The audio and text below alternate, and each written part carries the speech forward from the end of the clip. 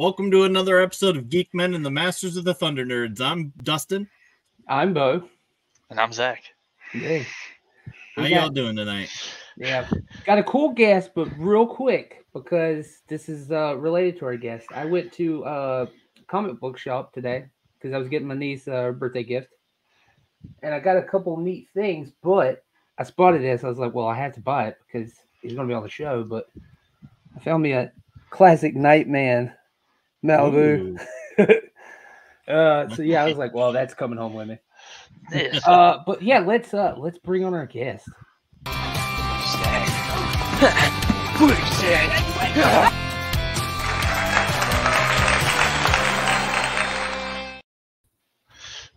It's wait, I never Hey, motion. It's the one and only Roland Mann. What is up, Thunder Nerds? Classic Nightman, huh? Classic Nightman. This Oh is issue my. number 19. Oh my! I, I edited that one. I don't know if you popped it open yet. I figured you I figured you had you had your hand in it somewhere. I see uh see Zachary's name on it too.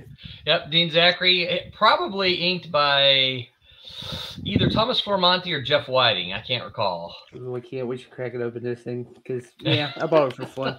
But uh yeah, like, I had to pick it up. It's Nightman. Yeah. Man, you're always I finding the good stuff. I love shopping in the dollar boxes. Uh, it's it's so much fun. I came home with so much random stuff. Like if it's eccentric or weird. Let's, let's see who did ink this. This was inked uh Bruce uh Mc, Oh, McCorkindale. McCorkindale. Okay, Yeah. Bruce McCorkindale.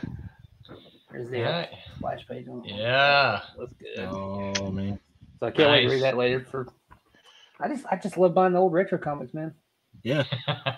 They- They're just well, too good. it's probably not too difficult to uh, to uh, procure yourself a run of Nightman in the in the dollar boxes.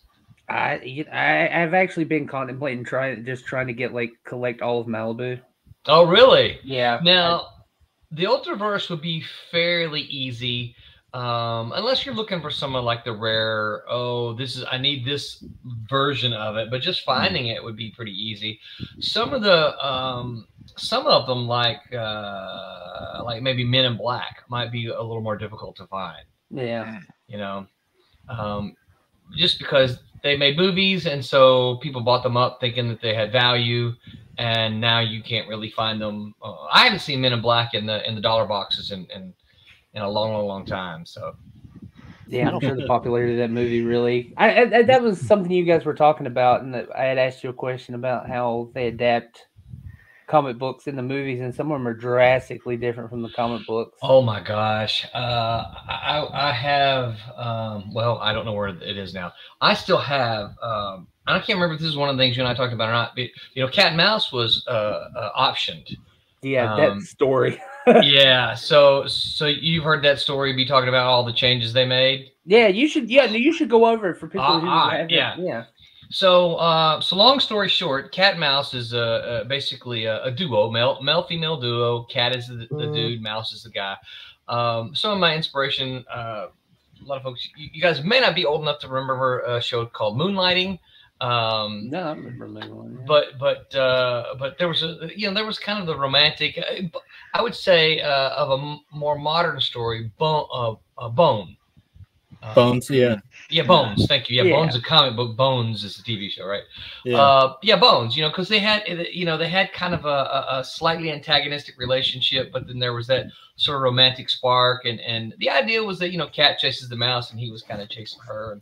And, um, anyway, so uh, they, they're street level uh, heroes who fight crime in New Orleans, um, and so. So it was optioned, and they wrote a treatment of it and sent it back to me, right? And and now I didn't get uh, approvals because it, that's not the way it worked. That it, that particular agreement, that's not the way it worked, and and that was a a mistake of mine at the time. Um, and it really just kind of brought me in as a as a you know being nice. You know, You- we'll let you have your say, but we're going to ignore you. But here's some of what they did, right? So they reversed the sexes. So so in the original Cat and Mouse, uh, Cat was a former police officer uh, who quit the force over uh, because of police corruption, and Mouse was a former criminal that he had put behind bars. Who once she got out, she was she was determined to get revenge on him. Only she discovered that he had a, a, a nightlife as a kind of a cat burglar to the rich, right? Um, and so that was kind of that was kind of their setup. They reversed the sexes so that that Cat was uh, uh, the female, right? And her name was Catherine.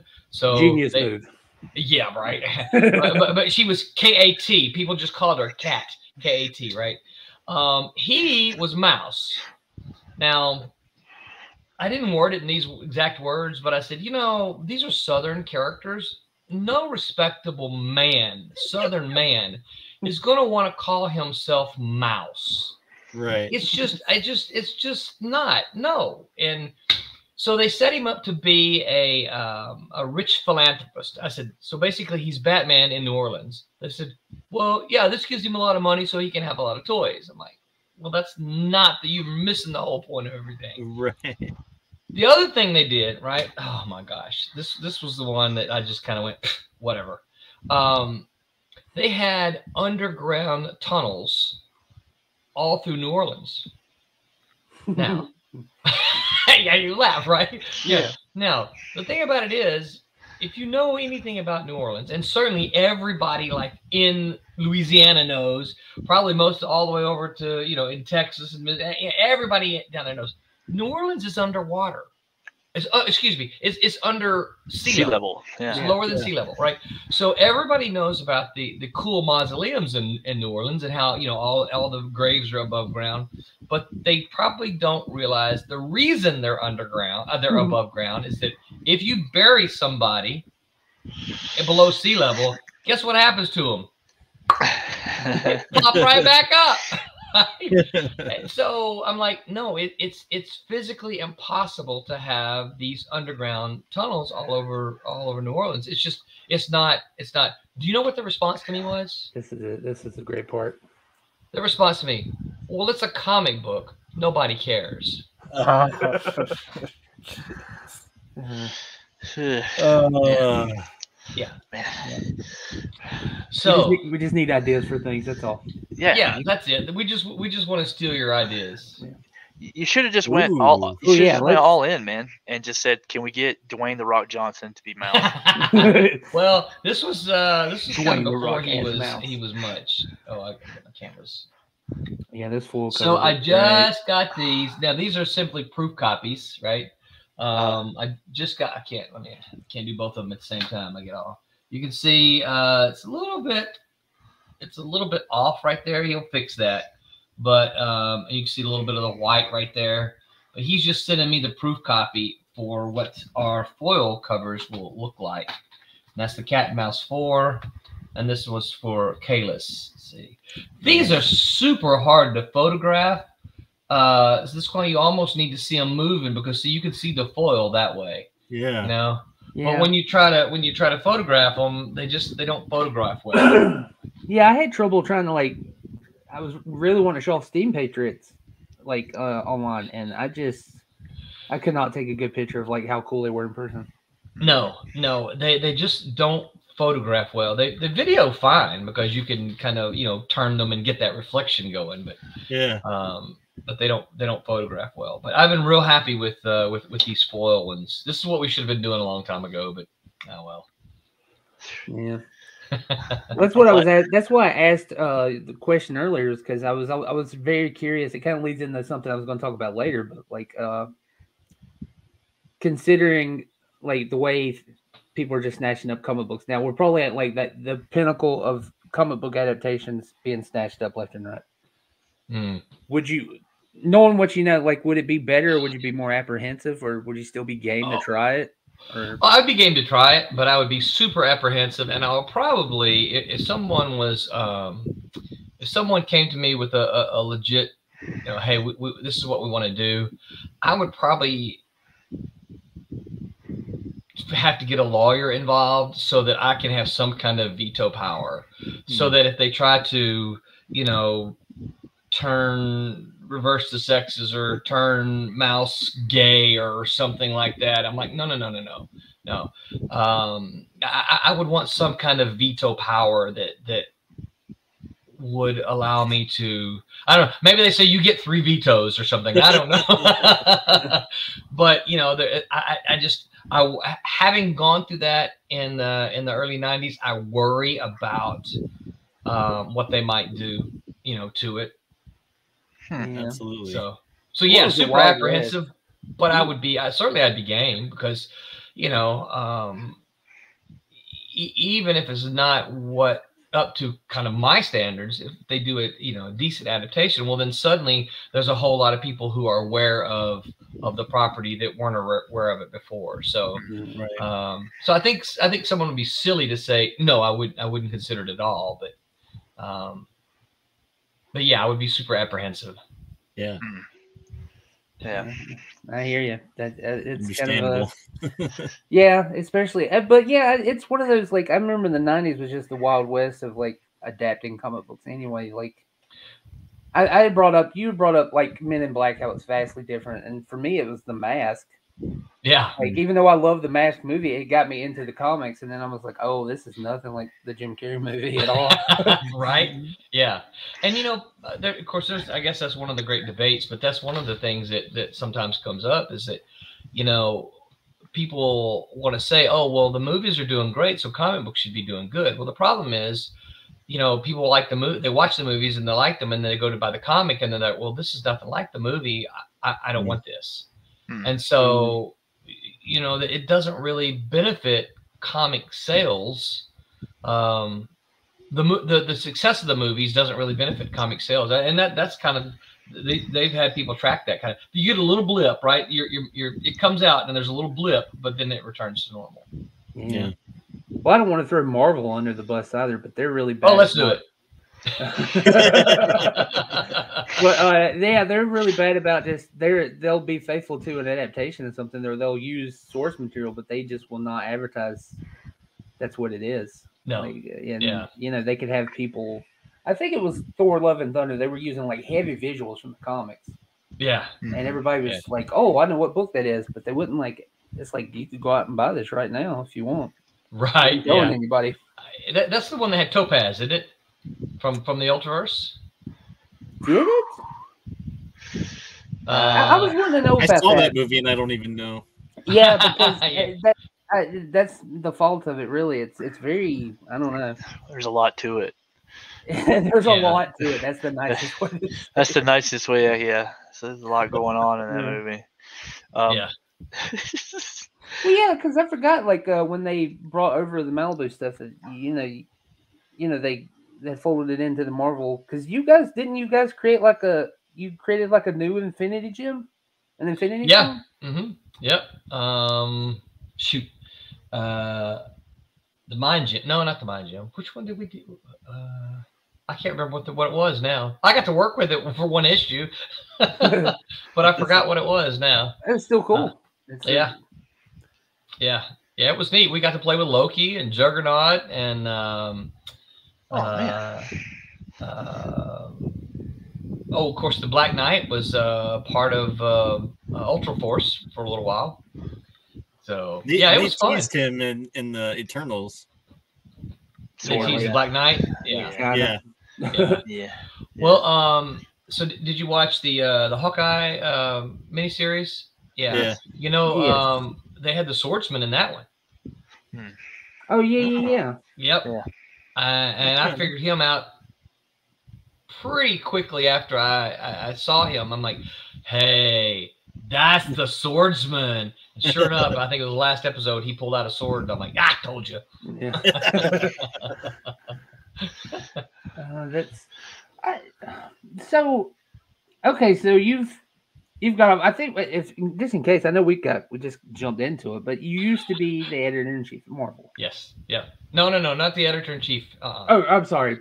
Yeah, yeah. Sorry. Yeah, I, I, I was uh, I was a um, I was the line editor for the uh, Protectors uh, for Genesis for so Protectors, Dinosaurs for Hire, um, Ex-Mutants, um, and some random random stuff. And then uh, when the Ultraverse came along, I went over to become uh, an editor with the Ultraverse. Yeah. When Marvel bought us, they they kind of gave us new titles, and I became um, managing editor, which just basically meant I had a lot of paperwork. Mm. yeah, my brain like combined all that stuff. But I, Yeah. it was when you had uh the head at Boom Studios on. Ross Richie. Yeah, uh, that was Yeah. a great episode. Uh, he we were talking about.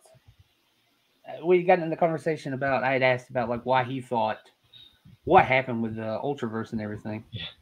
Yeah. And I was kind of app- I was wanting to know if there was a. I'm trying to think of the nicest way to word this. Because I I know I'm going to insult Just like a, a. DC fan or a Marvel fan. uh, Be a man. Just do Yeah. it anyway. Just okay, so you had people like McFarlane, you know, and Uh-huh. Jim Lee and Rob Liefeld, and they all came out and they was like, "We're gonna go, we're gonna go independent. We're gonna go heavy independent." And you, again, one of those people. And you look at it now, and all those people have kind of returned to the fold, if not higher up on the chain, and they're still Yeah. kind of doing the same things that they were trying to escape from. Yeah. So my question to you is, what is your thoughts on that, or do you see it that way? And if there was an offer to come along from one of the big two to snatch up Silverline, what what how would that go down?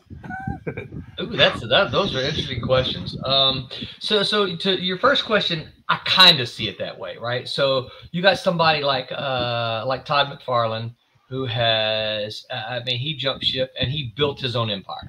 So uh, if if he goes back and does some stuff for Marvel or DC, that's just him, you know, doing a little side job. You know what I mean?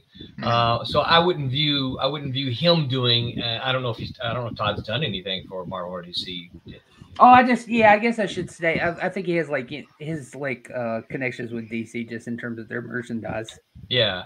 Yeah. Oh yeah, he, all the Todd toys that he Yeah. does. Yeah. Uh, that's him making money off of DC. So I, I don't have a problem with that. You know? I never thought of it that way. Yeah. Yeah. Um, yeah. So so Todd's built his empire. Um, Erik Larsen, although, I'm not a fan of Erik Larsen, Erik Larsen stayed the course. You know, he he's been doing his uh, uh, uh, Crappy Dragon for you know 300 issues. Um, just I mean, just pounding away at it. You know, so um, so you know you gotta you gotta kind of give him kudos for for you know staying the course there. Um, Jim Lee is the one is probably the biggest one, biggest name of the bunch who, um, you know, created Wildstorm and then sold Wildstorm to DC, and then ended up being the big mucky muck at, at DC Comics. Um, yeah, I'd say I'd say he tossed it in and and and, and you know um, went back to, to working for the man. Um, let's see, uh, Rob Liefeld. ah, Rob kind of all over the board a little bit. Um, I, hard to say about him. I, I'm going to say yes and no. Um, I think he kind of writes his own ticket a lot of time. He kind of does what he wants to do. Um, so maybe kind of half and half on Rob. Um, I got a lot of respect for Rob though. He um, he has a lot of he has a lot of shade tossed at him. And you know, we can talk about it. We can we can laugh about does. his you know, no feet, you know. Uh the thing about it is though, dude sells comic books. You know, there's something about his art that makes people just go, I want this. And that's you know, that's magic. I don't know how you I don't know how you you know you, you could throw shade if you want to, but the dude just sells comic books. Yeah. Um, the other two It's, guys, it's because of the feet. It's because of the feet. Nobody wants to look at feet. No one like I don't like feet, so I think it's the pouches. Yeah. I think it's the pouches, Exactly. right? So many Yeah. pouches. Yeah. So many pouches. it's So, so, uh, Gotta be prepared for anything and everything. Absolutely. So I don't want to put you guys on the spot, but I'm going to. Uh, did e- any of you read the Silverline Team Up number one issue? I did not. I'll be honest, I did not. So uh, you talk about the pouches. We did a, uh, and I'm, I'm I've got my back turned to you because I'm I'm looking for it here. Um, we uh, we did a, a, a, a tiny little head nod and homage to the pouches um, in uh, in that first issue. The pouches are Mm. feet. no, no, no feet. Trunks with pouches. all Uh, of, like the, like the Crocs where they put all those pouches Yeah. on. on the Yeah, Crocs. it's like Right. those, those little, those little collectible things, but each one's a little pouch you can open up. Well, I, your have. I thought I had one here in my box handy, but I guess I don't.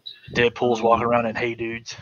hey dudes. well, anyway, there was a, there was a panel there. I'll, I'll try to um I'll try to. He goes into he, he- he's all uh kind of Deadpooled up. He's got bandoliers and pouches all over himself, and he goes into into his first fight with all that stuff on it, and he just he just messes all up. So Yeah. um yeah that that happens in the in the first issue, but it was if you look at that panel where you first see all the stuff, you're like, man, that's that's right out of the '90s.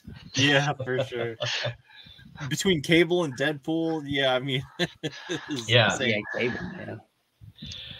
As far as your other question, um, Somebody comes along and says, "Hey, Roland, we want we want to buy everything." so so somebody in Marvel is two different uh, questions. Yeah, I get. Well, yeah. Uh, um, Marvel or DC, I- really, right? I would like to tell you, I would like to tell you with uh, with absolute certainty, no. But as you know, money talks. hmm And uh, if uh, I, I will tell you this, for me to consider, it would have to be a lot of money, right? Um, uh, because it would have to be it would have to be the kind of money that that means that that you know me or my kids probably don't have to work for the rest of our lives as long as we're not stupid, you know. Right. Uh, don't don't have to work the rest of our lives. Um, and, and part of the reason for that is uh, I, I love what I do. I I, Yeah. I love this. Uh, I, I love making comics. You know, I love being able to come on here and show you cool foil things. You know, uh, Mhm. here- here's a, I'll, I'll give you a secret. This is just the cover. The, the guts here because this is a mock-up. I'm he'll he'll kill me if I showed you. Uh, ooh, I better not show you. uh, the, the the interior here that has nothing to do with the actual book. What he does is he just takes random sheets that he has laying around, maybe extras that didn't get, you know, that they overprinted somewhere, and he'll just fold them in so that I can see what it looks like on the cover. Oh, okay. So so this these literally are one-offs because Kalis is not in here and Cat and Mouse is not in here. And in fact, this feels like more pages than this one. Um so I, I love what I love what I do. I, I love Silverline. I love the team that that uh, that we've assembled.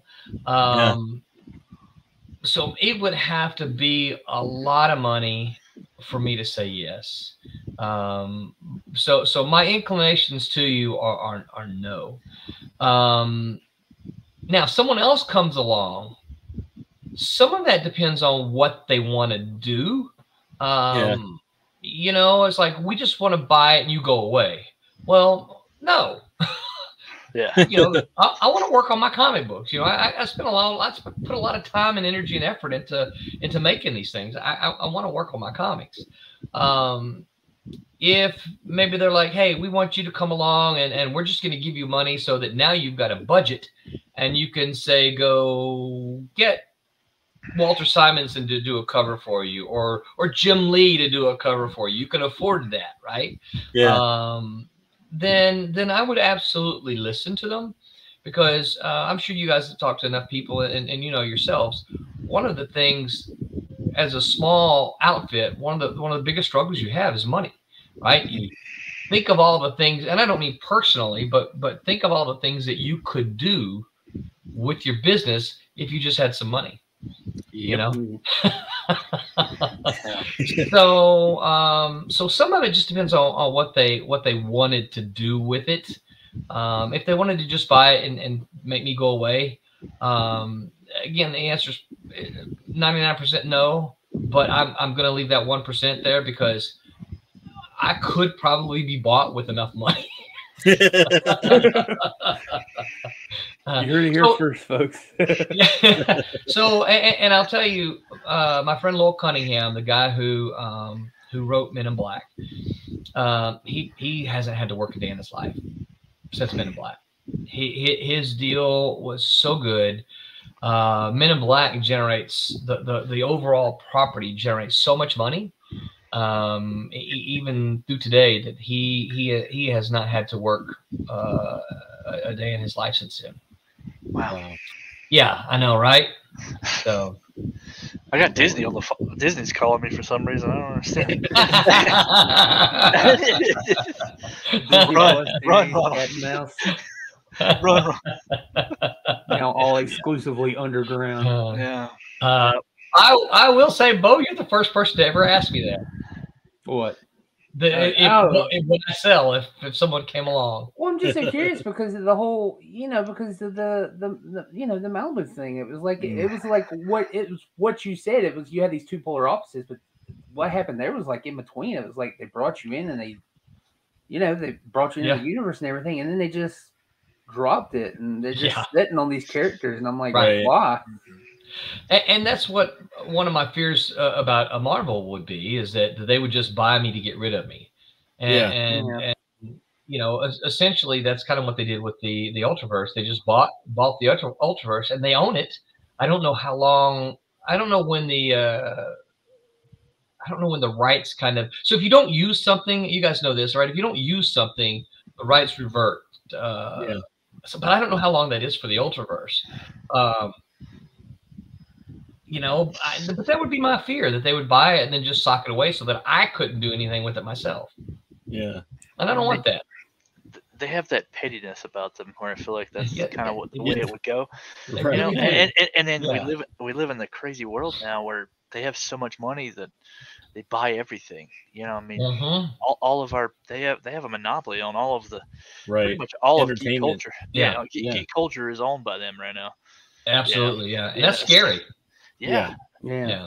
for And- several reasons. Just the I, I always just, I just keep reverting back to the saturate the oversaturation of stuff. yeah, and you know, and thank God for Silverline and give it a Well, I something new and appreciate that. Um, You know, yeah.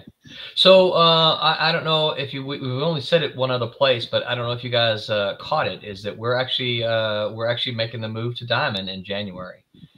Oh, Uh, really? Yep. Nice. Yep. Silverline Silverline titles will start to be uh, in comic shops starting January of 2024. So Nice. That's awesome. That would be really Yeah. nice to just be able to get out of my local shop and pick it up. Nothing Yeah. against like buying a Kickstarter. no, no, no. I, I, I listen. I totally get you, and I understand. Uh, we, we, we're anxious for that because we, we, we are hopeful that um, that it will introduce us to uh, you know a whole new audience that will say, hey, you know, what's this Silverline thing here? please, Yeah. yeah. Mm, And is there any hope in the future to maybe consider uh, compendiums of maybe like big collections? Uh, oh, I would be completely so- interested in that. Because yeah, So how big are you talking about? Like collecting multiple titles, or multi, multi, like multiple runs. Like Yeah, say, runs say- and stuff. yeah. Say, say if uh, Cat and Mouse had the equivalent of a, um, I don't know, uh, what's a good Batman run? I'm trying to think. Nightfall, like night, like Mm. Batman had Nightfall. right? Imagine a cat, a cat and mouse variant of that, but in compendium form. So, because my biggest problem with being a comic collector is having to chase every issue down. Mhm. You know, I want, I, I want do, it, I, yeah. I want it all, and Yes. and and sometimes there's that one that just escapes you, and Yeah. you can't Yeah. get it. Uh, the answer is yes. Yeah, we, we're going to do uh, we're going to do collections uh, uh, of all of them. I'm actually even working on a uh, an, an uh, of an omnibus for the first volume of Cat and Mouse, which was Yes. uh, uh, 19 total issues long. Good. So, It's- that's there's gonna- a lot of stuff. It's eh, please don't take no offense. There's a lot of stuff I would love to read. It's just you know haven't had access to it or just Yeah. haven't found it or whatever. And I would Yeah, you can't to- find it. Yeah, It's Yeah, or or you find it and you you you, you know uh, someone has slapped a five hundred dollar sticker on it. You know, and you're like, yes, yes, I'm not paying five hundred dollars for that. you know. right. because they know they know you can't get it anywhere else. That's right. Yeah. Yeah. Yeah. Yeah. So. But uh, Well, good. But yes, yes, we that. are. Our, our plan is is for um for all of the ones that we do, we'll eventually put them in a in a uh you, you say we we call them collections, uh, but compendium uh collection and and so that people can buy them as a trade at that point in time. Yeah. Awesome. Didn't Oh, yeah. didn't you uh, already do that with uh, Cat and Mouse, the the latest one? Not yet. No, no, no. the This is four- yeah, this is on this is issue four. So it, it, when this one's done, we'll we'll actually we'll do it. yeah, I, Um, we- I thought I saw that on on the Yeah. maybe it was just a Kickstarter. Oh, it was probably the catch up thing. Oh yeah, yeah. Yeah. But the, the catch up thing is is just the uh, individual issues. Right, right. Yeah. Uh, the only one we've done it so far with is uh, is Kalis, the first Kalis volume. Hmm. Um, we have Friar Rush and Twilight Grim both ready to go. Um, we're looking at, at the possibility of putting them on uh, Indio, Indiegogo over the kind of the holidays. Um, But we haven't quite made that decision yet. So, Nice. but yeah. Man. I'm I'm very excited for Cat and Mouse. well, I appreciate that. I'm Yeah. very, I'm very I- excited. So you guys want me to? Uh, uh, I'll share something with you. Yes. Uh, yeah. So I've already, um, I've already got. You, you got to give me a minute to find it. I've already got the next story uh, in the in the works, and I'm calling it Vipers, Cat and Mouse Vipers. My uh, my penciler emailed me yesterday and said, "Hey man, I finished the issue," and I said, "Wait, what? You finished the entire issue already?" Um, let me. Uh, I'll have what he's having. I can't do Yeah. anything productive. Man. Um, They've all had me some of that there cocaine. I thought I had. Uh, I was going to show you the splash page because I think my uh, guy inking it told me he had finished it, and put it in the, the Dropbox. Um, Well, we could be talking about how, like, uh, let's just go ahead and be talking about it in the meantime. uh, Here we go. Live on Kickstarter right now. Yes, it is. Yep. Yep. Uh, let me present my screen. So, uh, so I'll give you my pitch uh, since you're going to put it on the screen. Cat and Mouse is a story of a guy who gets a telephone call from his ex fiance, and she says, "Hey, my kid's sister ran away. Would you go get her and bring her home?" It's his ex fiance, so he doesn't really want to do it, but he Yeah. is studying to be a police officer. So he decides that he'll go to New Orleans, um, only to find out that the kid's sister has been caught up in a human trafficking ring. So he has to figure out how to get the kid's sister out of the human trafficking ring and get her home. And yes, there are ninjas involved. Always ninjas. That's, Always that's my worst nightmare. Yeah. yeah. Yeah, I know, right? Uh, so yeah, I got to update some of these images now, um, but uh, and, and try to get a good shot of the foil as much as I can. Um, the B cover though, there that Kalis has been uh, inked and colored now. Oh well, actually, you just saw it, right? Yep. You just saw me hold it up. yeah. Um, This is a mini The- exclusive. the yeah the B that's the B cover and then the C covers um cat and mouse is I'm still waiting on the inks and colors for that one and then the the Kalis is being colored. I, and it's probably about halfway done. He showed me progress uh, yesterday. And what I always love about you guys is that if you missed out on something, well, you got all this sweet merch you can add on, but you can just Yeah. casually add on, uh, uh, you know, issues that you missed, absolutely. But they're still available, so you can do some catch up, which is Yes. really nice. Absolutely yeah Like, And we- it's funny, though, we have found that um, since we started putting that on there, that's been pretty popular. Um, I would say that that, and I don't, I don't have the, I haven't crunched the numbers, but I would say that probably for every Kickstarter, we've done anywhere from twenty to forty back issues for for each each campaign. That's Yeah. cool. Excuse me. But uh, yeah, it makes it really nice to uh, be able to, you know, I, I it was that I had that with uh Steam Patriots. We'd gotten the, uh, you know, the preview to do the review and the interview, and it's like, Yeah. oh, I really want to get this, and so I didn't have to worry about not getting issue one because I just picked it up when I got issue two. Right. Yeah. Yeah. Yeah. And that's that's something we try to make sure that we we make clear um to everybody. It's like, look, I know this is cat and mouse number four, but you can still get one, two, and three. Um it doesn't mean that you can't you can't pledge. You can still get one, two, and three with this. Right. Um yeah, Yeah. so and, and you know, we, we try to make sure that's clear to everybody. So Not to mention, I, I should always mention, I know a lot of people are ad- apprehensive, myself included, by Kickstarter. sure, I get it. Uh, you guys have how many? Have, how many does this make now? You they always get fulfilled. Yes. Every single one gets backed. We have successfully fulfilled 25 campaigns. Yeah, that's Yeah. that's a lot.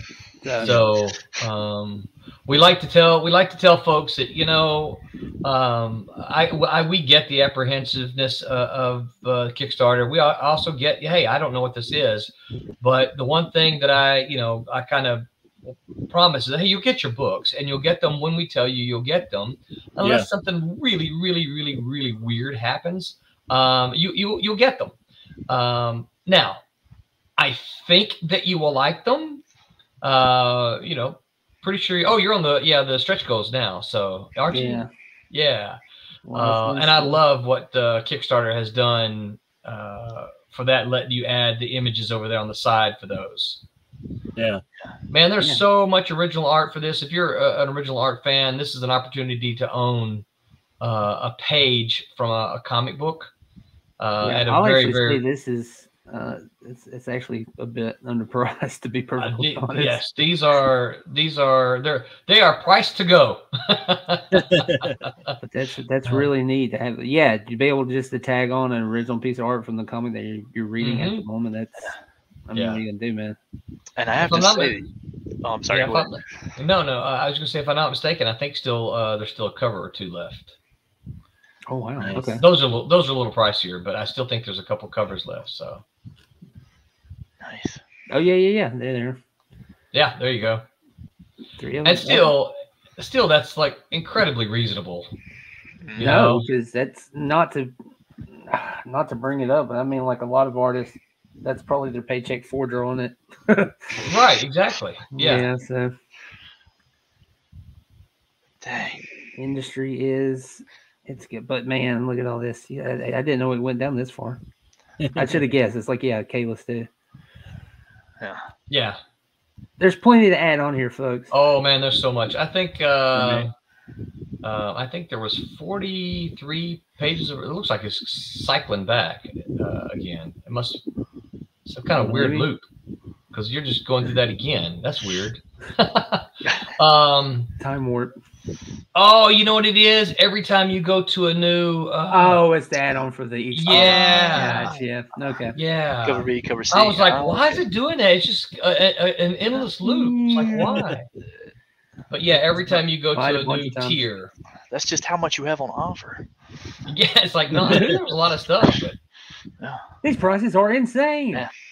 And and yeah, and if anybody's like nervous, uh, the speed in which you went from fund to actually having comics in hand was pretty crazy. Yeah. yeah, Like yeah. like next thing you know, I had a book in my hand. Right. And they're also packed. You know, it came in presentation so on the well. packing. God, Like I was Yeah. like, you don't have to worry about your comments getting all. Uh, Oh no way. it's just the worst thing ever. I still have mine here, actually. Uh, Un- unboxed. well, I- I- I feel like I got mine around somewhere too. Oh, look at that! this. Oh, well, you can do Oh. an unboxing now. ah, Yes, show everybody what they get. oh, and then you open it Oh, there you go. Yeah, Yeah, there's nice, nice, there's And, nice uh, book. Uh, then it's it's tucked blow in. them up. Jeez. It's tucked in a nice little pocket. Oh, Yeah. sweet. nice little There pocket, and then then you can take this off and, and see this the issues inside, which I, I I have. I just I opened it, but I uh put it back in here for safekeeping until I put them in. So you can file it. Yeah, until I can Yeah. put them in in my boards and boards bags and borders. Yeah, yeah. All I know is. I, I spent like twenty some odd dollars, and I got like a big stack of comics. And I was Yeah. I, I know, man. I bought like extras so because I like to I like to hang them up too. Like I like. Oh, to, that's I- cool. I- I've like to have one- about I have- I have always buy one for the wall, um, Oh, that's cool. so eventually I want to have the whole wall just all you know papered in comics. Oh, that would be very cool. Yeah. Yeah, I noticed they started selling the uh selling those like uh it's yeah, like art displays. I would Yeah. love to do that. Yeah, yeah. We um, of course, we uh, you know I buy the uh the Gemini's that that uh, uh Dustin just showed uh, open in there, um, and we've had really we've had good luck with those. I, I would say again, out of the the twenty five campaigns, I think we've only ever had three that we've had to uh to replace for damages. Uh, we've had Wow. very very good luck. Um, the weirdest one was uh, uh, one that was uh, waterlogged. It looked like the uh, post guy had just dropped it in a puddle of water and left it there Mm. for five minutes, and Which then and then said. "Oh, I dropped the package," and then picked it up and, and then delivered it. And of course, all the comics were, you know, Uh, I'm like, well, man, I'm, I'm sorry. Yeah, so so what we replaced that, but you know that was that was not like that was not so much like our fault, you know. Yeah. Um, but so yeah, I, I mean, I I feel incredibly lucky and fortunate uh, to have done so many you know campaigns and only had to replace you know three of them. That's So- insane. Yeah, yeah. Uh, Bo, I did share. Uh, Yeah, I, I did notice you Okay. added something here. I don't want to like. Yeah. what is this? So, so I know we're campaigning for number for number four of this first volume, but this is my splash page for the next issue. Uh, Oh, that's some great inking. So, uh, Wow. so yeah, these these pencils are, are by Angelo uh, Conception, and um, inks by Jose Fuentes. Um, Yeah, Jose. Same, yep, same guy who did uh, obsoletes. So I am I am super stoked with this, and he has he has finished with the issue. Uh, not the inks, the pencils. Yeah. yeah. So I, I'm having. I was gonna say I'm having a lot of fun with this. Uh, as you might imagine, a, a a whole bunch of big snakes. Uh, Oh, man. So, yeah, and it's all, of course, the theme uh, that I'm working with now for Cat and Mouse is, is human trafficking. So it's all going to be it's all going to be you know about human trafficking in some in some form or fashion. right. Do you know how many uh, issues you plan on having this arc? This this arc will be four issues. Four issues too. Okay. Uh-huh. Yep. And, and and I'll tell you a secret. I've already got the next one mostly written. The one after this one, and the next one, the one after the Vipers. I haven't I don't have it named yet, but uh, it's going to deal with the uh, voodoo. Oh yeah, nice. Oh yeah, yeah. I mean, yeah. I guess you got it. You get- have to. So in Louisiana. Yeah. Can't just leave that be. Yeah, I'm sorry. I just keep looking at the Yeah. That, I that is- know. I can't wait. the that cross epic. section on that is great. I know it's really really nice. Um, Thank you for the teaser. You're, Yeah. you're very welcome. You're the you're the first to see it. I, I, I think uh, people should, uh, in case they don't know, uh, Silverline has their own YouTube channel as well. Well, everything you stream on everything. yeah, But uh, Try. You guys are, you you got your shows and you can see people working live on this Mhm. stuff, which is really fun while you guys are talking. yeah, Mhm. yeah. We don't always do it, but we we try to. Um, in most of our shows, we try to have somebody because uh, you know we have a mix of writers and artists, so we try to have one of the artists, um, who, one of the, who are able to to share uh, what they're work what they're working on on the screen, so that you can watch them, you know, pencil or ink or color. A lot of times it's inking and coloring uh, while we're um, while we're talking. So Yeah. It's fun. Yeah, you guys, I know you guys have either topics or you do like really fun quizzes or yeah, uh, yeah, that's fun stuff. I, I, I like to catch them when I, when I got free time. Yep, yep. We uh you we we uh, we see you pop on quite a bit, so we appreciate that. If I got five ten minutes and you guys are on, I love it. I love Yeah. popping in. Uh, yeah, we have fun. We, we try not to, you know, we don't get political on, on there. We, we all have our, our uh, as you might imagine, like anybody, we all have our political opinions, but we try not to, uh, that's not what our, you know, our streams are about. Our streams are about the comics. So we try to, to focus on comics and we try not to, you know, we try not to bash too much. Uh, I, you know, show comes out or something we don't like, we'll talk about it for sure. But uh, you know, we try to we try to stay positive. We, we believe comics are, you know, they should be fun. Yeah. And Sorry. So we no, that's all right. So we, we we just try to keep it, you know, we try to keep it fun. No, that, I think that's what I like the most about what you guys do is because a it, there's just the tremendous focus on everybody getting due credit. Like everybody is known for what they do on there, and it's there's no one person, Right. which is nice. And uh, the the two, the- just the sincerity of the uh, sincerity of the work. Because I think even in that last one you said that you were on, you were you were talking about how making comics is grueling, grueling work. So you have to love it, but once you start doing it, you can't do anything else. That's Yeah. it is very addictive. It really is. Yeah, I, I can imagine. I, I, I, like I said, I'm sitting on a, the story that I've been wanting to do for a while, and so it's like I, I get that. I know that itch. So why you sitting? Make it happen. I, I know. It's really tough. It- it's, it's, I think we're all sitting on like good ideas. At least we hope they're good. Yeah. But it, it's it yeah, just actually doing it, getting getting the art. It's That, I think. Then I think the Yeah. no- the knowledge, like I I wouldn't even know where to start. Like I like say you wanted to put something out there and you're a you're a nobody. Like where do you Yeah. even start?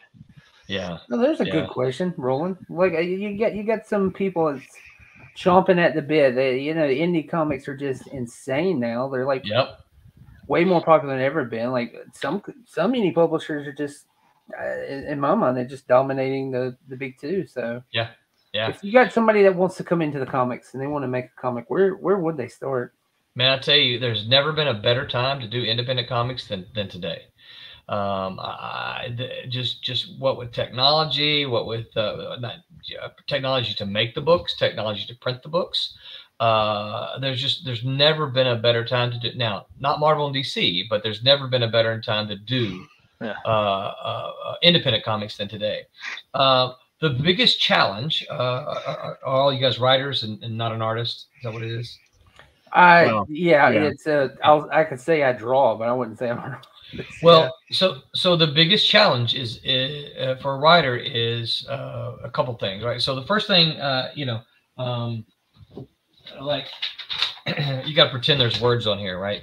So um, I can hold this. I can hold this. I'll hold up cat and mouse. I can hold this image up, right? And you and, and you can make a, a a decision like that whether you like the image or not, right? Mhm. You can look at it and you can immediately form an opinion. I like it. I don't like it, right?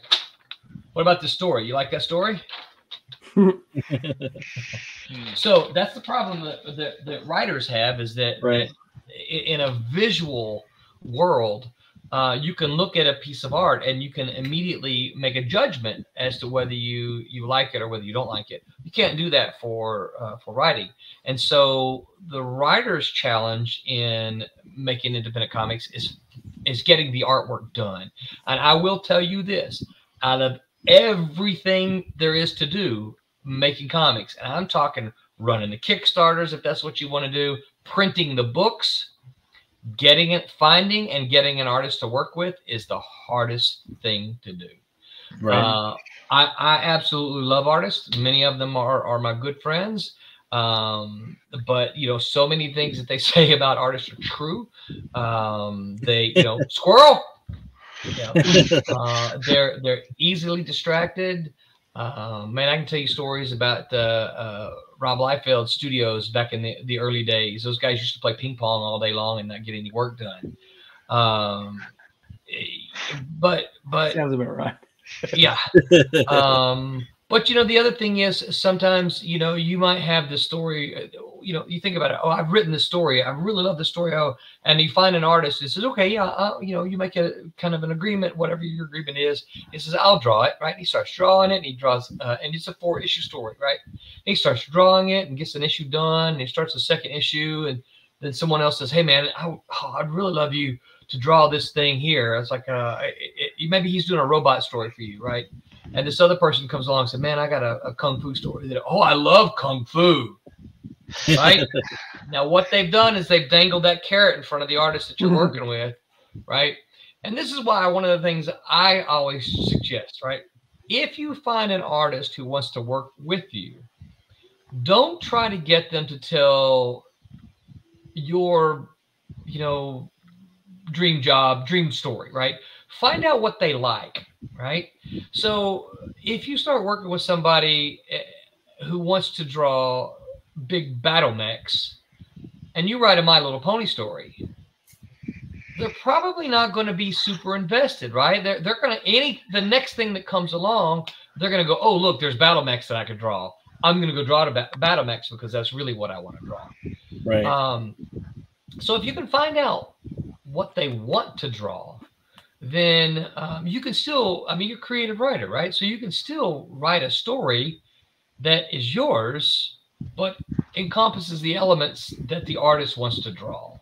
You Yeah. know, um, It's gonna be. good but yeah, that's the that's the single hardest thing. Oh no, Battle Mech Ponies does sound like a good. Yeah, I think of like what is his name? Stratos from He-Man. Yeah, No, yeah, not I Stratos. no What's one's the horse's name? I should know, but it don't. Stridor. Stridor. Stridor. Okay. Yeah, yeah. Yeah. I think we're onto something. I don't make I, ponies. I gotta go. Write The next ponies. Kickstarter. Write it down. Storyline. Never mind. We just lost it. I, I- I'm writing it down. Battle ponies. I'm gonna, I'm gonna be sitting in, in a comic store and see it on the shelf, and I'll be like, "It's so."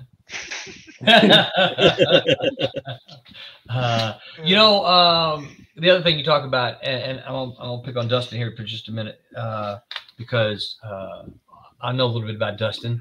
Uh, the thing about it is, he- here's the difference between, um, you know, one, one I teach, and one of the questions that that comes up uh, sometimes is like, okay, so so what's what makes a writer successful, and what makes a writer not successful? Okay. Um, and and for me, the simple answer is this: the unsuccessful writer is the one who who's not writing, right? The successful writer is the one who's still writing, right? They might not have gotten their their magnum opus published, right? But if they're writing, they're doing it, right? Mhm. That's the successful writer. And so, um, so for me, Dustin, um, you just you just got to do it. You know, you just gotta, you know, if it's important enough to you, you'll find a way to do it. Like, you know, I'm a, I'm a, you know, I'm a big. You guys probably know this. I'm a big family guy, right? My family is very important to me. I always make sure that that that you know because they're important to me, I make time for my family. Right? Mhm. There there is time for my family. If I didn't, then they're not really that important, right? So that's usually the question that I will ask to a writer when they say, you know, well, I, I just don't have time to write. I work a job. I got a family. I, I'm like, dude, I, I, I get it. I all those things for me too. I, I mean, I, I, I totally get it. But how bad do you want it? Do you think you know? Are you a sport? You got any of you guys sports fans? You're talking uh, Eh, uh, yeah, that's okay. It's not not a new comics I and mean, sports you don't generally. Yeah. Although Comics and sports is just nerd D and D. It's just you know, with people. So right yeah yeah I, i'm i'm uh, pretty much just a college sports guy uh, but you know the thing that uh, you if you watch uh, like sports movies the thing that you almost always see uh, even something like rocky you know like how bad do you want it? Are you willing to sacrifice you know uh, certain things so that you can accomplish what you what you what you want you know? Um, you might have d&d night three nights a week. Well okay are you willing to give up one of those nights so that you can spend that night writing? You know? Right. And you don't have to give everything before- up before you even mentioned Rocky, like the speech you were giving, I was like, I was hearing like, right. like Rocky Four, the Rocky Four montage music.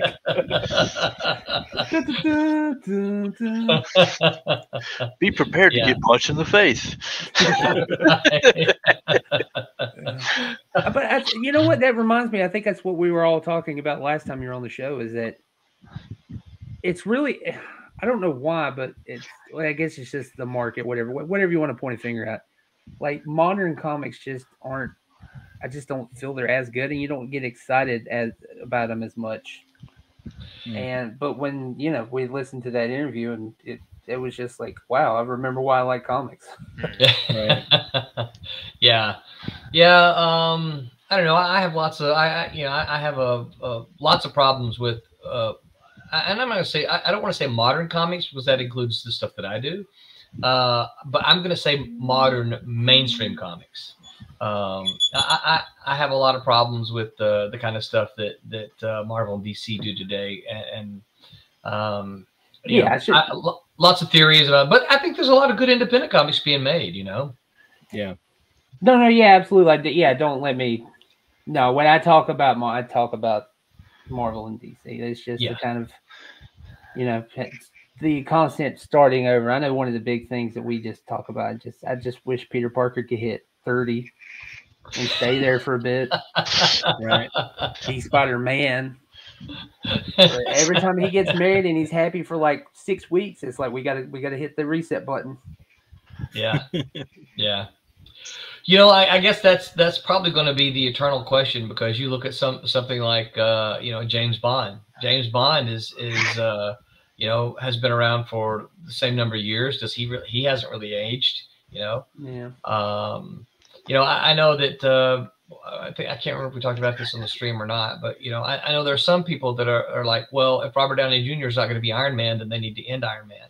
I I and, and, or the Black Panther, right? Um, oh crap, the guy's name. Um, Uh, Patrick Yeah, Boseman, uh, Chadwick Boseman. Boseman? Chadwick, Chadwick Chadwick Boseman, yeah. Uh, oh well, now, now that Chadwick Boseman is dead, the, the Black Panther should die. I disagree completely. I, I believe the characters are more important than the actors. Uh, if Robert Downey Jr. doesn't want to be Iron Man, I listen. I support him. I think he's done a fantastic job. Go find Yeah. somebody else. Go find Yeah. somebody else. Uh, there are other incredibly talented actors who who can do a good job with what what uh, what Marvel is bringing for the for those particular characters, right? And part of the reason is is you know I don't think people are just not interested in, and the comic books are the same way. I one of the things that you know the question is, well, why didn't um why didn't the Eternals do that good? Well, you know what, the Eternals comic book didn't do that good either. It was like, I mean, you know, the Marvel Avengers was incredibly popular. Marvel of the Eternals was not. Why did you expect the movies to be any different? right. You know, um, Hubris. They, Yeah, they- Yeah, they got a few the big name actors and actresses and stuff, so they're like, oh, well, clearly this should be doing awesome, but no. Yes, no, it's not. Yeah, the, the- yeah. So I, you know, to me, I, I would rather see them replace the actors, uh, you know, with somebody of caliber, but replace the actors and and keep the characters going. Hmm. Um, Yeah, I think that was the whole backlash with that second Black Panther. Is I know everybody was really kind of sore, like when they announced, you know, he was doing the second one and he was, you know, his passing. They had to stop it, and they're like, "Well, don't cast anybody else." Mhm. And then they watch it and they're like, "Wow, I wish you'd kept Black Panther in the movie." right. Yeah. Yeah. They they should have cast someone else to to and, and then again that's the you know Chadwick Boseman's awesome.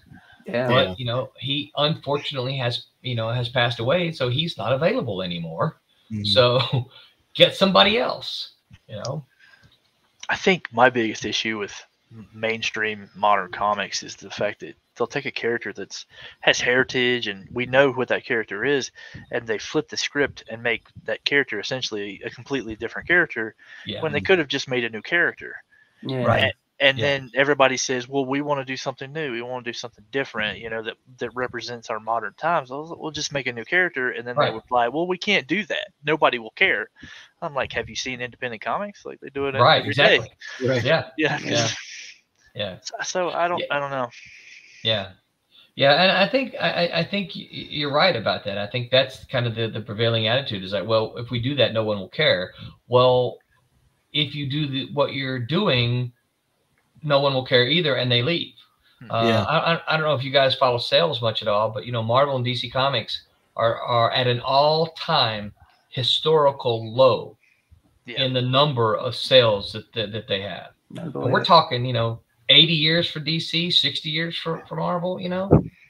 They've never sold eh, they've never sold as poorly in their entire history as they are now.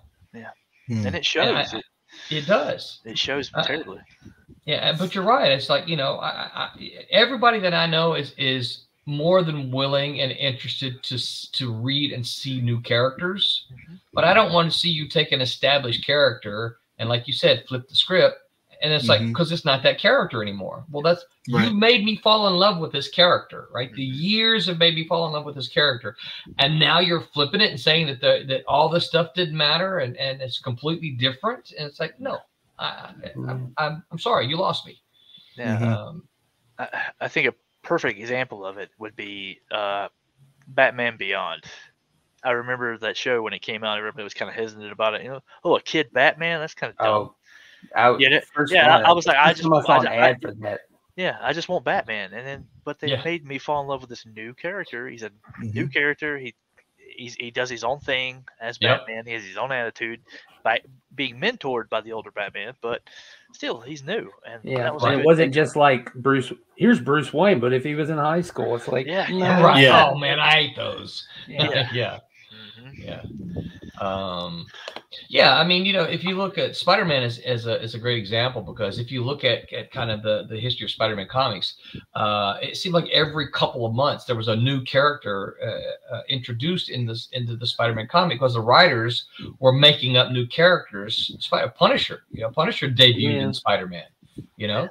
Um, and I would say, you know, I would be willing to argue that Punisher is is pretty successful, you know.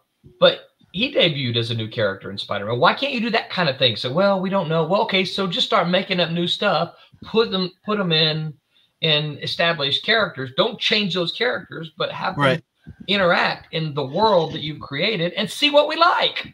Yeah. You know? Another, I think another example is just how they want to make alterations to a character like that, but they don't. They fail to realize. I think the best example is Miles. Like that's just a variation on Spider-Man, but it's not Peter Parker, Right. and people can still follow one or the other uh, or both, which is you know. Right. But it, it didn't have to. Let's just make, you know, a younger, a black Hispanic Peter Parker, just to kind of please you know an audience. It's just like, Right. why don't we actually do something interesting with the characters Right. Yeah. and give it merit? Well, and a lot of times too, and you guys know this. A lot of times, the the kinds of changes that they're that they're making and imposing, they're pandering to an audience that doesn't really exist. You know, um, Yeah, they're, they're pandering they're they're pandering to uh, to a demographic that doesn't buy the comics, as can be witnessed in the fact that they make these changes and then their comics don't sell, and they don't Right. sell be- because that audience that they're pandering to does not buy the comics, and the ones that were buying the comics stopped buying it because they messed it all up Yeah. Right. you know so yeah um That's what I'm just baffled about. Like it's still it's still going on now. Like I think the most recent one I remember them talking about is like we're gonna we're gonna do a Clark Kent story, but we're gonna make it more quote unquote urban and make him black. It's like you have a black Superman already, and he's his own character. Just Yeah. tell that story. Right That's Right. that. Why are you? It's like yeah, it's it's kind of I don't know. I'm- It's There's the, the Asian Superman too. yeah Yeah, yes that's right yeah i forgot about that uh, me, I'm just stuck on. I'm tired of the evil Superman. I've I did a whole Yeah. a rant about like I'm just sick of evil versions of Superman. I, I'm You know, still. Yeah, yeah, go ahead. Sorry. I was gonna say it's just it's almost like uh the House of Ideas has run out of ideas. Yeah. Yeah. You know, Marvel was always the House of Ideas, but I don't think they've had a new one in a long time. And at least when uh, you know when Marvel first started, you know they had you know Stan Lee and he and then he could go and steal a bunch of stuff from Jack Kirby. Problem, the problem is we don't have any more Jack Kirby's. to Right. steal from. Steve Yeah. Ditko's. I mean, Yeah. yeah, Steve Ditko's a recluse for a reason. Yeah. Yeah. Yeah. Yeah. No offense to So- Stan Lee. You know? Well, Can you imagine think- if someone plundered uh, his house, you know, just for all new ideas? It's no man. Ah, Yeah. Um Well, What do you- what do What- you think is? Uh, do you think it's the the the fear of just like we got to keep the brand going? Because I know a lot of things we don't like to think about it, but I mean, a lot of stuff is just to keep the brand in the consciousness of consumers, and it's not actually about the story or anything. It's like we just got to keep making stuff to, so people don't forget it. Well, uh, there there is a lot of that in, involved, and particularly in some of their their secondary characters. Uh, I mean, one of the uh, people used to argue all the time that the only reason Wonder Woman was being published is because there was so much stuff, uh, merchandise uh, of Wonder Woman sells. I mean, Wonder Woman stuff sells: T-shirts, pillows, uh, bedspreads, uh, sheets, uh, you know, lunch boxes. All that stuff sells like crazy, right? And so so the argument was that the only reason they published Wonder Woman is so they can continue to, to license all that stuff, right? Um, so I, I have a couple of theories, and one of my theories is this: all right, because we because we do live in a, in a in a day where it is easy to to be an independent creator and go make your own thing. I mean, just look at um, Walking Dead. Um, Kirkman. Yeah, Robert Kirkman. Yeah, look at look at Robert Kirkman, right? So, dude uh, phen- did phenomenally well. He took his own thing. He owns it. He controls it. He he makes all the decisions, right? And and he's done really really well with it. All right. And there are others. I mean, We, we could we could point out some other independent comic book creators who, who've done something similar to that. So if you're writing for Spider-Man and you get this awesome idea for a character, are you really going to give it to Marvel? Yeah. I mean, or are you going to say, you know what? I'm just going to keep writing this story and I'm going to take this awesome character idea and I'm going to go create my own thing over here so I can do it with image, Right. you know? So I, I- think I think there's some of that involved because of the, the history that Marvel and uh, more more Marvel than DC, uh, but that the big two companies mistreat the people who create their content. They don't. They go and make billions of dollars off the movies, and they and they go, oh well, hey, thank you for creating that character for us in the Spider-Man book, Yeah. right?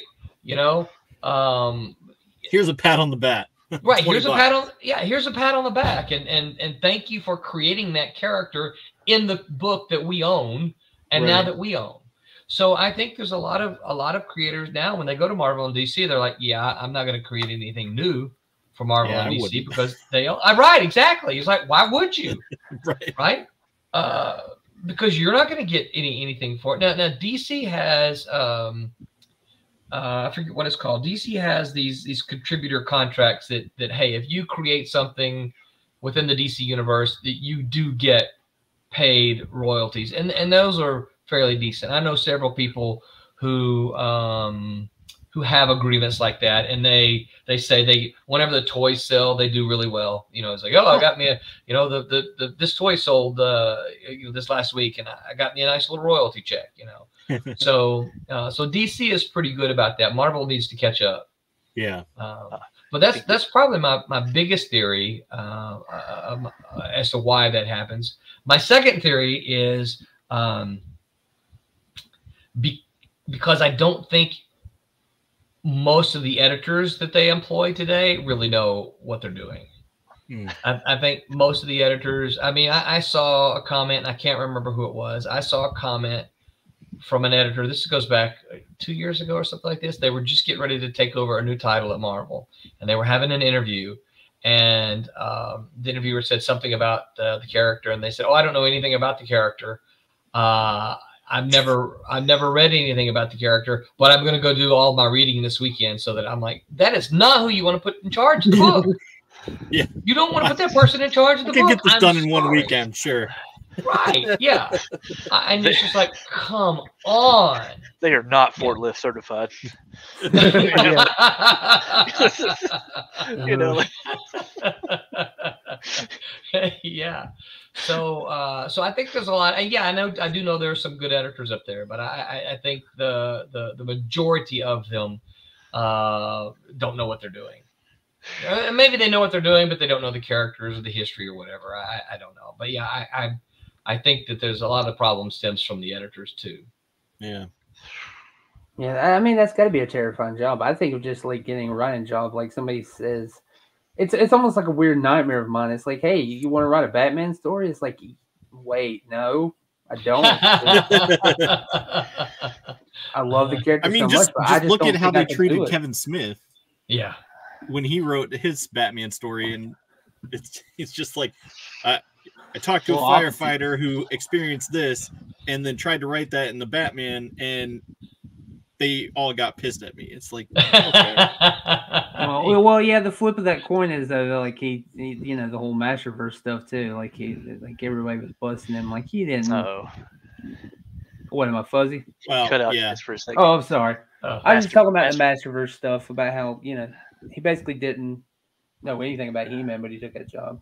Yeah, yeah, yeah. I And think see, there's that- a lot that- of a lot of that going on. Yeah, and that's the problem, right? Yeah, Um, you you you want to hire someone who who uh, they don't have to be expert expert, but you want to hire somebody who at least has heard of the character. You know, well, a, a, good, a good example is the films. I mean, going back, I hate to go back to Love and Thunder, but uh, Taika Waititi, you know, he made several comments about who he does. He doesn't know the character, doesn't like the character, and I remember uh, if uh, this is paraphrasing, but he said, "I'll wreck your like your lore in a minute" or something like that. He made out some big yeah, statement, you know, like I'm like, come on, they man. don't care. Yeah, yeah, yeah. It's like, and, he, and they take pride in ruining something that people have grown up loving, and that's, Yeah, that's sad. I don't think That's you that can take is sad.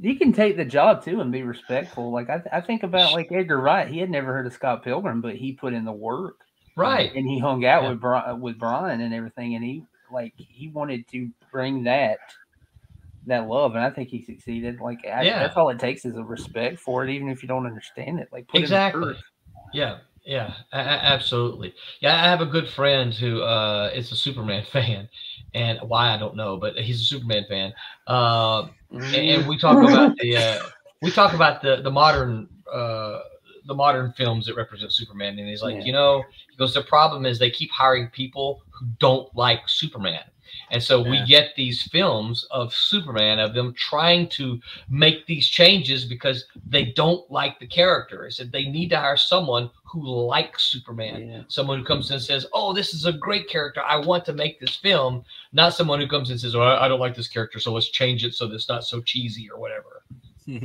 And that's a Yeah. problem. No, we yeah, we actually did a whole episode about the problem with Superman and what, what we want, like especially with this new one. I'm tired of getting my hopes up with a good Superman story that's not Yeah. the animated series. I, th- I think like that's pinnacle Yeah. Superman storytelling. Yeah. We- well, we- okay. s- oh, sorry. Go ahead, Zach. I, was gonna say we don't want to get cavilled, you know. If you, No, you, right. sh- Yeah. you show up, show up, look really, really like real happy about what you're doing, and you love it. They're like, get offset. just oh, leave. Oh, I know. yeah, Yeah. just get out of here. How We dare you? I like How dare you Superman. care about this character? I What do you- know, what you- right? What do you What do you mean you read the books? there are no books for this. That's cheating. Go away. Right. Get out of here. Mm, I know. I'm still I'm still butthurt about them changing truth justice in the American way. I'm still butthurt Yeah. about that. Yes. Yeah. I, I feel like come on, man. Same. Yeah, yeah. Yeah. I just think uh, that's why I liked it because it was, uh, I- it's, I think that's uh, just the short, like we were talking about. It's just everybody's so cynical nowadays. So Superman does not fit in there because he's just unbelievable. Is you tell me, there's somebody that just wants to do good all the time and he's not out to like make money. I don't, I don't believe that. Yeah. Right. Yeah. Like, yeah, it's like that's well, sad, that's isn't it? the- Yeah, Well, it's like Yeah. well, it's like a paradox. You you say that he doesn't fit in, but we've never needed that more than ever. yeah, Right. You know, and I think Yeah. Yeah, if you don't like Superman, roll it. Go, go, go read Superman versus the Elite. Trust me. Or, or- listen, I, I, I really, really, really like classic Superman.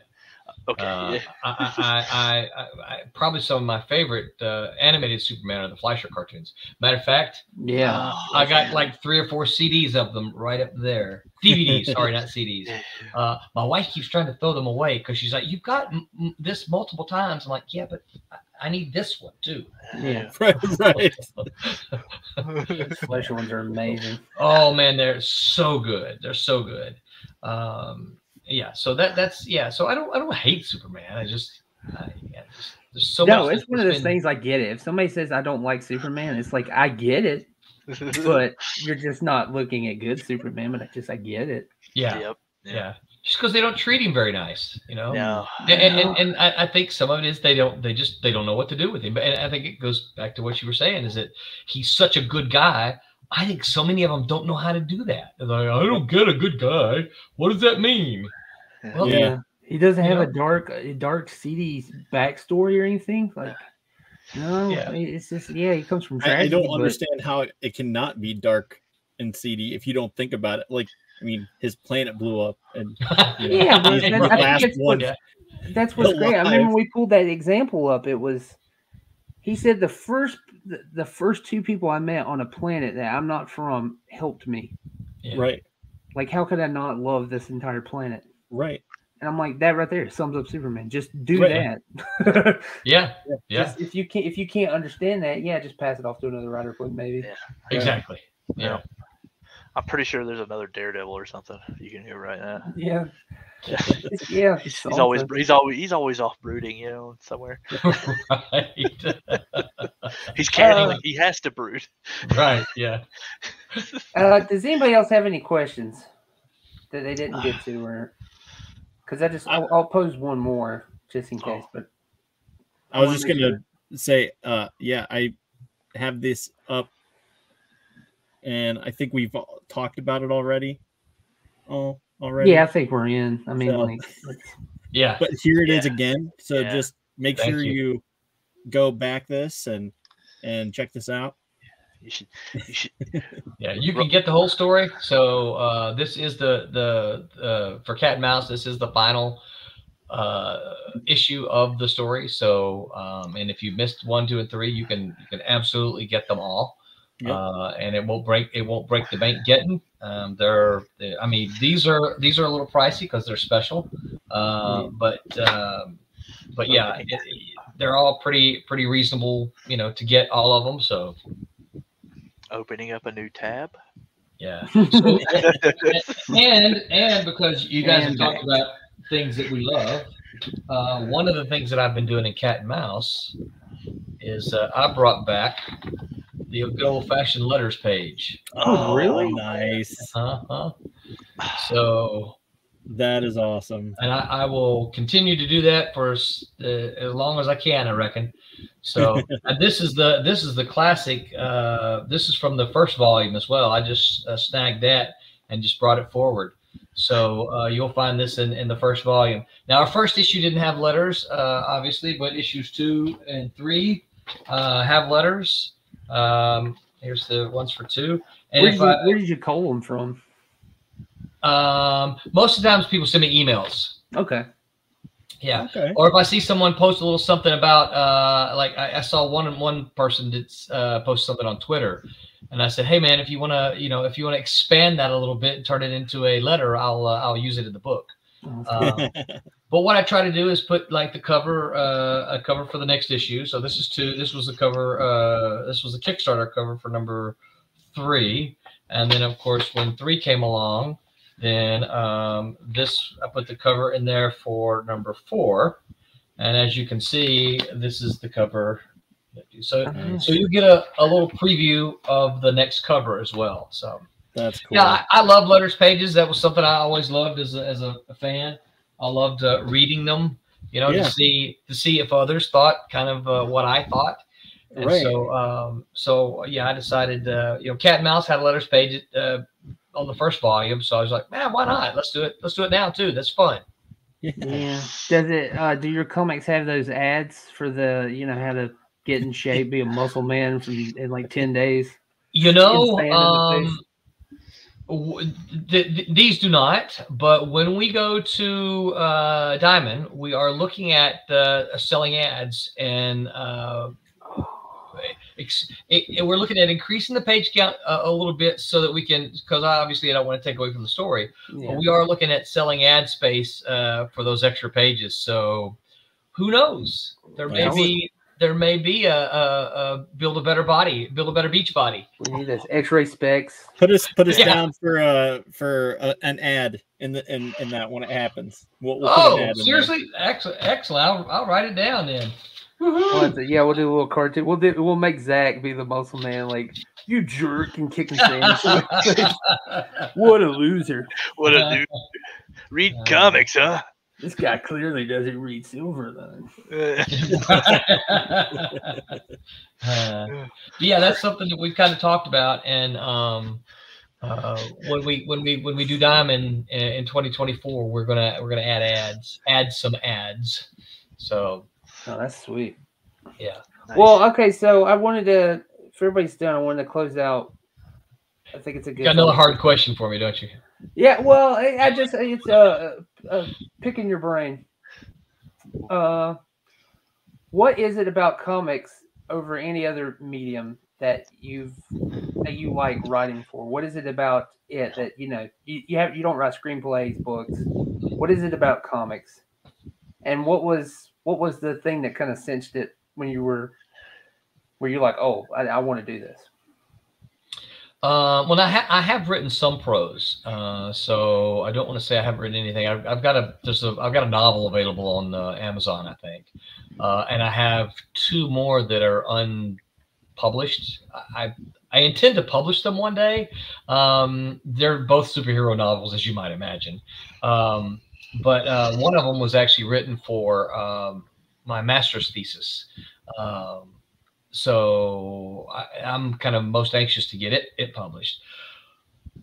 You know, I, I think what it is about comics that I like um, is that comics allows you to, well, I, I mean, number one is visual, right? I, I, love the art in comics. I do. I know that I'm a writer, and and you know I should say, oh, I love novels, and I do. But uh, I I love looking at the artwork. I, I can just you know love sitting here looking at the. I, I love the process of it. Mm. Um, I can write a script, and then it will go to a penciler, and then that penciler will take the words that I've written, and they will breathe life into it by simply drawing something on the page in their pencil. And um, sometimes it's exactly as I, I envisioned it. Uh, sometimes it's kind of like I envisioned it. Sometimes it's, well, I didn't really quite see it that way, but you know, okay. Um, and of course, then that, that's the penciler. And then, uh, then the inker will take that and, uh, you know, create the depth and the shading and all that stuff. And then the colorist comes along and, and gives it that vibrancy. Um, there's a collaborative process that I love to be involved in. I love to be a, a part of. Um, and I've had someone tell me, "Oh, well, you can do that as a as a, a screenwriter," and that may be so. But every person I ever knew who wrote a screenplay or any kind of script said they wrote it, and then someone, other people took it and changed it, and and they didn't have anything to do with it after they they, they got paid and mm-hmm. they moved, you know. And um, well, you know, I guess there's something to that. You could say, well, I worked, I did my job, and then you know, I, I sent it forward. Um, I, that, that's I, that's not me. Um, I, I like the I like being involved in the production of it, seeing it go from you know concept um, uh, seeing it go from um, uh, you know battle ponies to a full fledged comic book. You know, I read that. patent pending. You should have said patent pending. You should have said. so, um, Shut and, and down. There's, there's, uh, yeah, he's like, man, I wish we weren't live. We could actually bleep that out. we could we could edit this in post, right? That's right. Uh, but yeah, there's something else I like about uh, comics, and I, I, think part of it is is goes to the writing as well. As a consumer, there there's there's some things I think about comics that that gives them strength that the other media doesn't have. So so when you go see a movie or you watch a television show, you consume that based on how the director wants you to consume it. Okay. He he he's taken uh information to a script, right? And well you might have written it, uh, but he determines I'm gonna spend 30 seconds in this scene. I'm gonna spend, you know, five minutes in this scene the director determines that. As a reader for a comic book, you can decide I'm going to spend 10 minutes looking at the artwork on this page, or I'm going to spend 10 seconds looking at it. You and I can read the same, let's just assume that we read the same speed, right? You and I can read the same comic, and yet we may, there may be, you know, 15 minutes difference between the time you finish and the time that I finish because, you know, and I'm just going to say, I'm not picking on you, but I'm just going to say me because I want to sit there and look at the artwork. Yeah. Whereas, you know, some some people may just, you know, kind of flip through and read the words. I do that with manga, right? Well, there's nothing to look at here. Let me just flip, right? Uh, sorry, that was a cheap stab at manga, wasn't it? Uh, Shot but, uh, Talking to one of the biggest DBZ fans on the planet. um, but you know that that's as a consumer, you're the one who gets to determine what your experience with the comic book is, right? Do you want to do you can do you want to spend five minutes reading it or do you want to spend 30 minutes reading it you know uh, and, and, that's that's totally up to now uh, yes of course the writer has some um, some c- control there. If there are no words for you to read, then you're gonna you're gonna go through it pretty quickly. Um, this is part of why I'm a big believer that that all comics, all your panels should have words because um, if a panel doesn't have a, a words in it, your reader tends to to skip it and move quickly past that panel. if there are words in it, they have to stop and read them. And their eye, even though they're reading the words, their eyes are looking at the artwork around it. So they actually hmm. spend more time. Hmm. Yeah, you're like, well, duh, of course they spend more time they're reading. Yeah, but but they're spending more time looking at the artwork as well because you're you're forcing them as the writer to read those words and stay in that panel because but if there are no words there they just move right you know they move right through it Yeah. so that's why i'm, I'm a big whoop we lost zach uh that DB, that DB, man, you should have the a joke. You couldn't do it. oh i'm sorry I think I heard I heard thunder in the distance. I'm like, oh, oh. uh Hanging there for So- five more minutes. If you see me Yeah. pull away, I know. yeah Name one of the Uh, mecha ponies after me at least.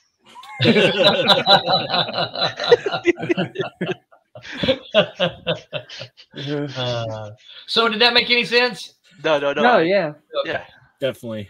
yeah. I, I think that's probably why I think of. Uh, I think the example I was thinking of is the ending of uh, the Killing Joke.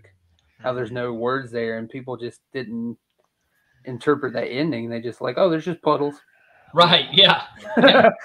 Yeah, they just they just breeze right through it. Yeah, and I know uh, you know it makes a lot of people mad. Uh, I say a lot of people. Anytime you're on social media, a lot of people get mad, right? I've Yeah. posted th- those kinds of thoughts before, like on Facebook. And oh man, the people come out of the woodwork. Oh no, they're great comics. Comics don't need the artist is not doing. You're not doing your job as a writer if you have to have words. And I'm like. You know, I read picture books when I was a kid, I, and and I moved on from picture books right. me, i- if you ain't got any words, you're just a picture book. You know, so. I, I like some I like some meat with my sauce. You know, Yeah. I, I'm uh, guilty of if if there's like an actor or a voice that I really associate with a character, when I go back and I read the comics, I hear that that, that actor's voice. Like Sure. like example, Kevin Conroy is, you know, when I read He's Batman, Batman. It, it's, it's Yeah. Batman. That's what I hear. That's Yeah. what voice I hear in my head. You know, do you do that as well? Do you? Oh have, like- yeah, absolutely. Yeah. Yeah. yeah, absolutely. There there are some that you just hear. Uh, so so my dream cast for the and, and this is dated some. My my dream cast for Cat and Mouse in the '90s was Nick Nolte and Meg Ryan. Right. Okay. That's who I wanted to be, Cat and Mouse. And so whenever I, I read volume one of Cat and I wrote the darn darn thing, right? Whenever I read the first volume of Cat and Mouse, I hear Nick Nolte's vo- voice. Man, see now I'm gonna. I, I now I hear 48 hours. right? You know, you know. yeah, we gotta get out of here. We gotta go. Uh, yeah, I would, yeah, I would still actually watch that movie now. Yeah. yeah, yeah, yeah. I, I, I, I, I, I, of course, you know, this again. This goes back to the '90s when they were, you know, considerably younger. Uh, you know, Meg Ryan was hot back then. I haven't seen Meg Ryan in, in years, but Meg Ryan was hot back then, and and uh, you know, Nick Nolte would have made the the perfect, you know, kind of slightly disgruntled ex cop, you know, yeah. turned cat burglar, and yeah. So God. that that was my dream cast for Cat and Mouse in you know 92, 93, 94. Well, uh, well, I'm simultaneously glad and you know, no, Yeah. it, it's okay that it didn't happen if it was going to be the other way. Yeah, because he would have been called Mouse. tunnel. Yeah. You know, he would have been called Mouse in their version, and yeah, I, I just can't see that. I can't see billionaire. Mouse talking like this, you know. Yeah, yeah. Go, trying to make his way through his billionaire tunnels Oh my in gosh. New Orleans. Yeah. what a what an awesome. Thank you for that. Yeah. Thank you. Oh, you're very welcome. and the thing about it is, I, I have the I have all that paperwork still. So sometimes people, go, oh, I don't believe you're rolling, and it's usually in my drawer. You, you can probably hear it. It's empty because I I haven't un, completely finished unpacking yet. But that's usually where I keep the, that that failed. Uh, the, the, all the notes that they sent me, the treatment and all that stuff for, for the original cat and mouse. So I can usually just pull it out and say, here it is. Man, what a what a perfect day to be able. to- Let me let me pull out this this exact moment when you said this thing's stupid. when you said this stupid. You remember this? it's right, right here. Right here. oh man yeah yeah it, it was bad so Uh, well, I'm glad, But glad it didn't happen. yeah, Me too. Oh, me too we're off to what we're off to better. We should uh okay, so Kickstarter's live. It's got 10 more days, I believe. Uh, it ends on I don't know. You're asking you asking me to do numbers. Um, I don't have my. It ends on not this Yeah. Sunday, but next Sunday. So Yeah. I'll try to get to the Kickstarter page. Where is my Kickstarter page? Ten Uh, days to go. 10 days to go. Yep, there you go. Um, yeah, it looks like we're at 54 backers with 1855. So um, we're at Yeah, about well 50. Yeah, a little, little, over halfway. So. Uh, so yeah, so whoever's uh, listening, you guys get over there and and uh, give it a peek. Um, you do not have to be aware of the first volume of Cat and Mouse to uh, appreciate, enjoy, and or understand this volume. Um, there are characters from the first volume that are in the second volume that probably, if you read volume one, you will appreciate more. But you, you there's not it is not required reading for for volume uh, for this volume. This is volume two. Uh, it is not required reading. You can you can pick up from the first issue and and, and move forward. So Yeah. I always appreciate that in comics too. That's the, Yeah. the golden standard. Like you shouldn't have to read everything. nope, you should not. You should not have to read everything. Even though I want it. Oh, okay. And uh, you guys, uh, social media, you're Silverline's everywhere, I believe. Yep. Yeah. We're on we're on all the all the social medias. Uh, just look for Silverline Comics. Uh, we like as you mentioned, we stri- uh, stream on uh, on YouTube. We stream on Twitch. We stream on Facebook. Um, we we run reruns every night uh, on the Madness Network um, at like 1 a.m. Uh, so if you missed our streams from two years ago, just tune in. We're running them all back to back to back to back to back, just like uh, you know you can see the uh, the old uh, reruns of uh, Gilligan's Island. You know. right. That's good. I, I, I'm not worried. I, I know everybody's it's going to get back, but I, I'm, I'm still excited regardless, and I'm Yeah. glad. I, we were all excited for you to come back on. Yeah, well, I, I appreciate that. I, I, I enjoy talking to you guys, and uh, I'll say it while I still see your live button up there. You, you want uh, anytime? Just just holler at me. I'll come back. And the one thing uh, I, I think I've proven to you guys is I, I love talking comic books, and and you got to shut me up. So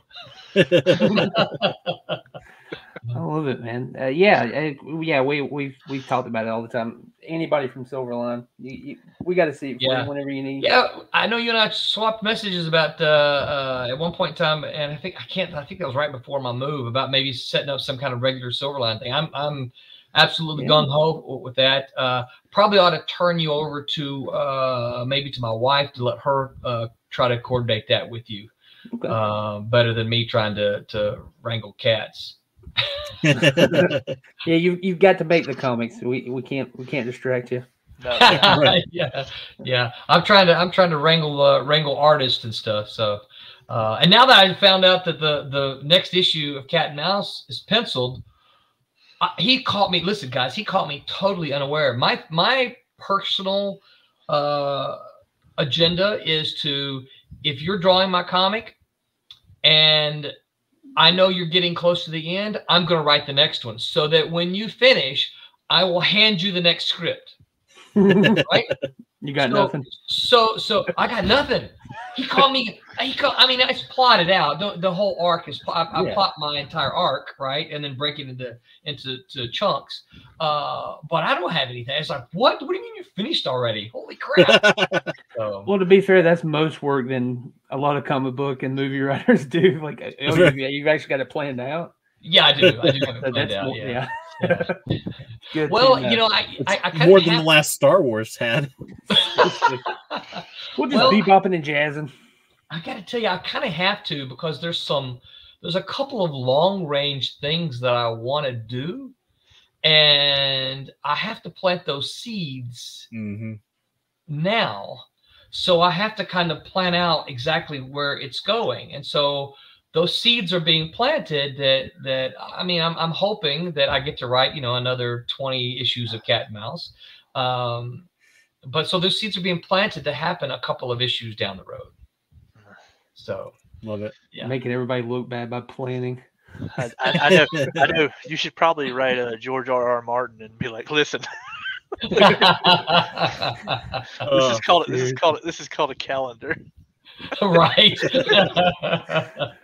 it's been Oh, around for for uh, centuries. Well, uh, again, thank you. I'm going to play uh, the promo to play us out.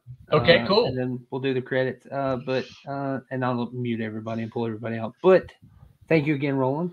Thank you so very much. I appreciate it. Enjoyed talking with you guys. Yeah, Yeah, thank you you, too. so much.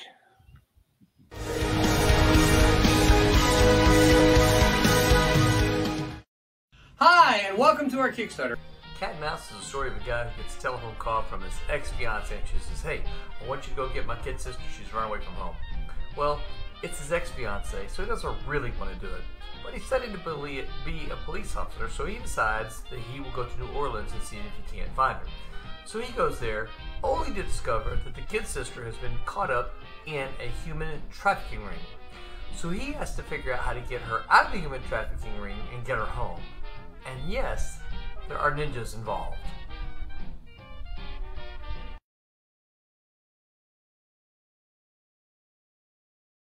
We like making comics. Tell all of your friends. Thank you, and remember to make mine Silverline.